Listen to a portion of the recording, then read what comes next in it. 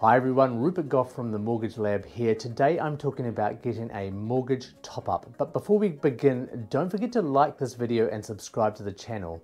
All of the ad revenue that these videos generate goes to local New Zealand charities. Let's get into it.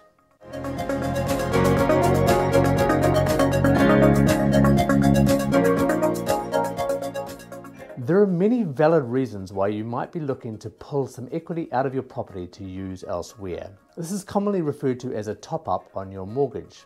The benefit of a top up is that you get cash to spend, but in return, your mortgage gets larger.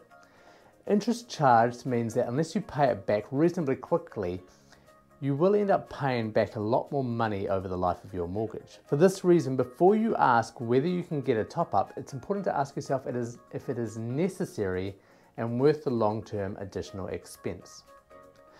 Most often, a top up is applied for in order to fund maintenance or improvements on your own property.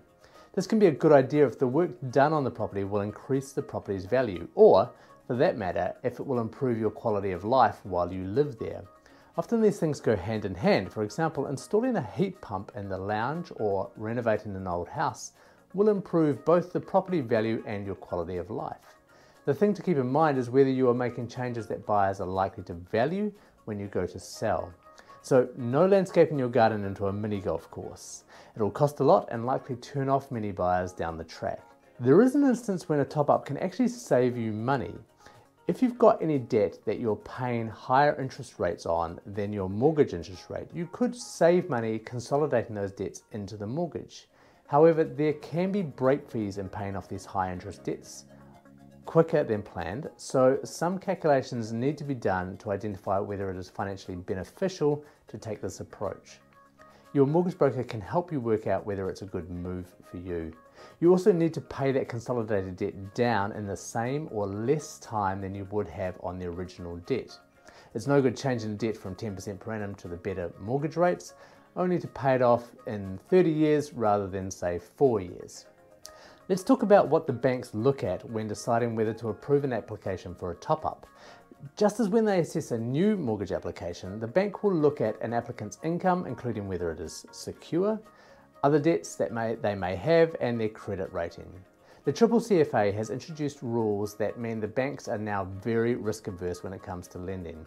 The bank can only approve a top up if they are satisfied that you can service the increased loan payments. They now require three months of bank statements that prove your current spending habits will allow for the increased mortgage payments.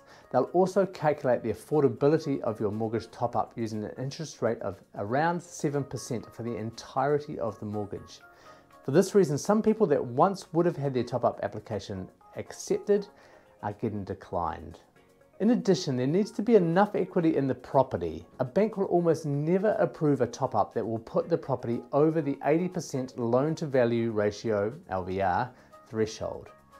To ensure they are lending responsibly, the banks will ask for up to date proof of income and your financial situation. This can be frustrating for some clients as they have given this information at the time of the original mortgage. But the bank needs to be assured that this decision is informed by the customer's current circumstances. You may be wondering if the bank cares what you're using the money for. The answer is yes, to a point. The term of the top up can be shorter than the rest of the mortgage. The reason for the loan will help determine the period of the loan. The bank sets shorter periods for the top up to be paid off if the money isn't going towards growing an asset. For instance, you can get a top up for a car loan but that debt will be structured to be paid off over five years as it's a depreciating asset. If you're after a holiday or new furniture, they won't necessarily decline your application, but the loan will be payable over a shorter term. We advise clients to think carefully before getting a top up for anything that doesn't grow the value of their assets.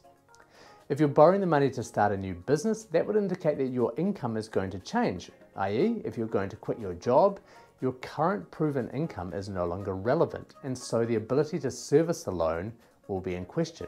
However, if it's for a side hustle rather than your main income stream, then they're likely to look on it favourably. The key thing is to be honest. The bank is trying to do right by you financially, and you won't do yourself any favours by giving false information. So, how can you improve your chances of getting your top up application approved? No surprise here, you can use a mortgage broker.